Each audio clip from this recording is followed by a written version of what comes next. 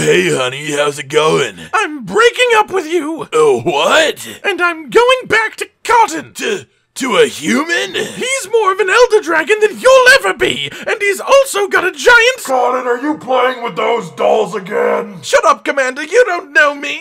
Ladies, gentlemen, and monsters of all ages, imagine a world where we have a Monster Hunter game that exists purely to showcase the best and brightest. Sort of like Generations, having loads and loads of different monsters, but let's say it is funded by some millionaire benefactor that said the one condition is you're not allowed to have a monster that is too similar to any other monster on the roster. The Gobuls and the Nibblesnarfs, the Gigginoxes and the Khezus, or, in this case, today's subject, the Teostras and Lunastras. I'll fight fire with fire. And sure, there are arguments to be made about their differing historical importance to the franchise, but I think the best course of action is to simply decide which of the two monsters is, to put it plainly, the best. It's me. No, it's me. Ecology.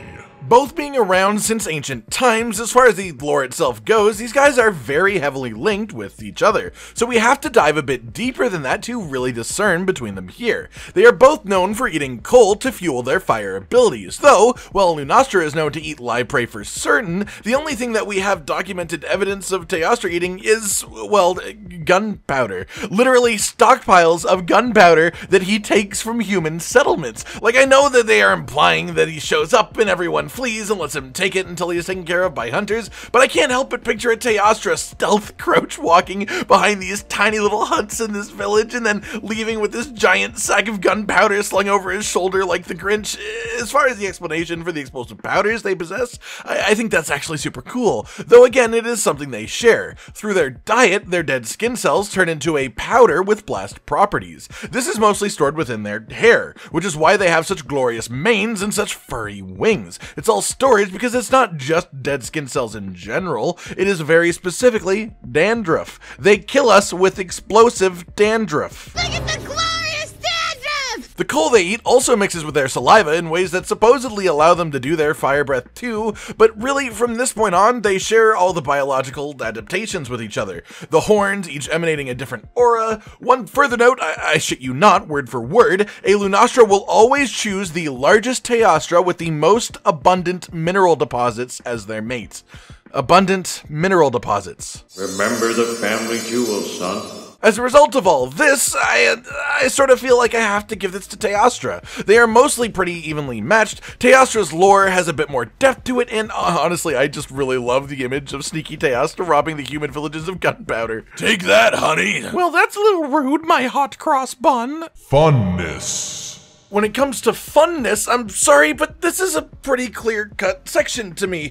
Lunastra, you, uh, you don't win. There are a lot of things that I respect about you, and many things that I admire, and they'll definitely come up real soon. But as far as the actual experience of fighting you, I have to say it's just sort of plain unenjoyable. Between all of the unavoidable damage, the inability to flash her safely without good group coordination, the wind pressure, and the chances of getting hit by fire that traveled halfway around the map to get you through the craziest chain you've ever seen, it's just not fun to be a part of. Teostra, well, he's a pretty chill dude in this department. Nothing that actively takes away the enjoyment of hunting, but with the bonus of flashing him out of his supernova feels pretty badass. So he gets that little bit of a bump above neutral monster funness for me, making him the winner of this category. Another point for the better monster. Oh, yeah. Oh, we're getting competitive, are we? Design. And this is where these two creatures really absolutely shine over a lot of things. I feel like a lot is lost these days with our crazy things like our Shara Ishvaldas and our Xeno'jiivas and our Velkhanas, that there isn't enough appreciation for something that, sure, is simple, but absolutely perfect. The fiery lion dragons. What a beautiful combination, and what a beautiful result they turned into. They have a lot of visual similarities from the way that they're shaped, the, literally the tails and the wings, to the legs, the general bodies, only particularly changing in color before we reach the head, where they have different horn designs and different hair situations. I have to say, while I appreciate Luna's hair, Teostra's beard is absolutely magnificent, which makes me lean a little his way. And the color difference, I think, is entirely subjective, well, at least when it comes to on their scales themselves, because once we get into the fight, it's a whole other story. Blue fire is cooler than regular fire in a game where the majority of the monsters actually use regular fire. It not only looks fantastic, but it is a fantastic design decision to make the fight feel genuinely different from all the other firefights while still being a firefight. I've met a woman with so much fire. So as far as aesthetics go, while they are very close, and even things like both of their supernovas basically canceling each other out, I do give this one directly to the Empress herself, Lunastra. Take that, you flea-ridden heat bag! I, uh, wow, you go hard. Coolness factor. This one will make more sense with other monsters in the future, as clearly neither of these monsters are cool. They're hot. This one is sort of hard, and there is a reason I didn't go too in depth on the mechanical parts of their fight in the last section. It's because I think Lunastra's fight has this coolness factor in spades simply due to her actual mechanics. Don't get me wrong, Teostra is cool as hell. I love his everything. He's a great guy with a great fight, but at least for me, the concepts behind the New World Lunastra fight are just something else. Even just visually, the amount of her attacks that are either crescent shapes or generally moon-esque to reflect the fact that she represents the moon is amazing. But that is before we even get to how interesting and cool the mechanics are, especially the first time you encounter them. From the fire puddles that have multiple stages, can block ranged ammo, and chain to each other, to little things like her always producing the level of heat that makes you have to have a cool drink to avoid taking damage. It's just something that adds to the general intangible feel of her fight, and therefore the general coolness of the monster, which to me is just so much higher than Teostra's. Sorry, buddy. Come on, I can't lose to someone who wasn't even in the base game. At least no one calls me a toaster. Death fight?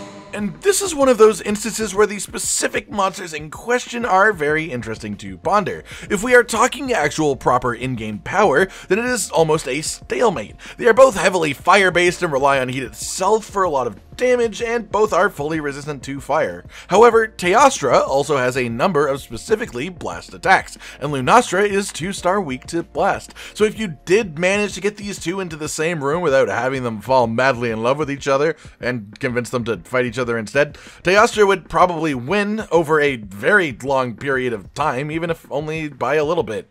In lore, I don't think it would be even close. We have lore that literally states that Teostra created the nest that he has in the Elder's Recess by exploding through the inside of the mountain. I'm just saying, that is some explosive ass dandruff. Teostra takes this one real easily. That's right, I may be a toaster, but you just got burned. Yeah, well, shut up. Oh! So that leads us to the conclusion. If we are going straight off of who won more categories, then the answer is Teostra. That said, even though I was the one who decided the victor of these categories, I can't help but feel like in my mind, Lunastra is the better monster. What I think is, if we wind up in this strange, unusual situation where we can only have one of these two monsters in a game, it sort of has to be Teostra. But that said, I think in that situation, it would be perfectly reasonable for the developers to maybe incorporate a few of the Lunastra mechanics into his fight. I could definitely see that happening, but that is just a thought. If you guys either have a different opinion than me on the overall outcome or even on each individual category, feel free to tell me I'm wrong and why. I'm totally open to criticism.